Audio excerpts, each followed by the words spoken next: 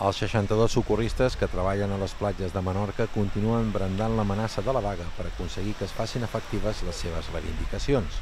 Demanen que se'ls actualitzi el sou d'acord amb el conveni autonòmic signat l'any passat que s'aplica ara mateix tan sols a les platges que s'han licitat aquesta temporada com les de Maó i Vinibeca a Sant Lluís. La darrera reunió celebrada ahir a l'Aió entre els treballadors de Marseille, Fossonbou i l'Ajuntament va acabar sense resultat.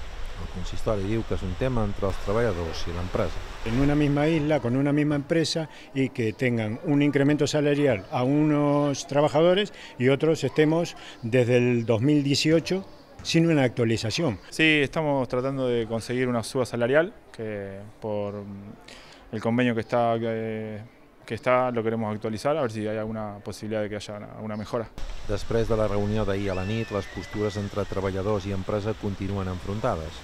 Els socorristes mantindran una última trobada amb l'empresa.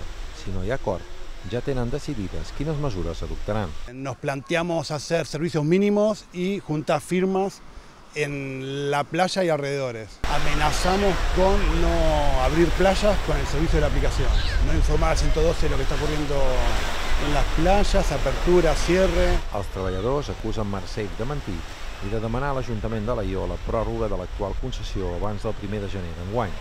Per contra, la postura de l'empresa és clara. No poden assumir aquesta temporada l'augment del sou que recull el nou conveni sense l'ajuda dels ajuntaments.